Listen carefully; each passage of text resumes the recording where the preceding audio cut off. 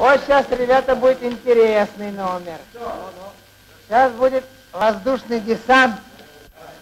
Артистка Лепешинская и Руденко. У рояля Нина Емельянова.